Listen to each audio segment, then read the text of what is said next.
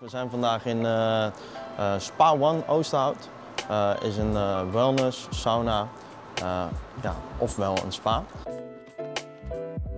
Ehm, we kunnen hier 3 tot 400 gasten tegelijkertijd verwelkomen die ja, van een van een natje en van, van wat te eten voorzien worden, maar tegelijkertijd ook kunnen genieten van, van de mooie sauna en rustruimtes die deze spa te bieden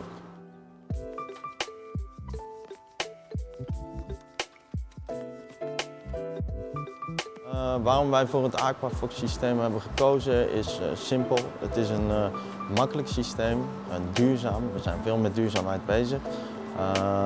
En het maakt glazen goed en snel schoon.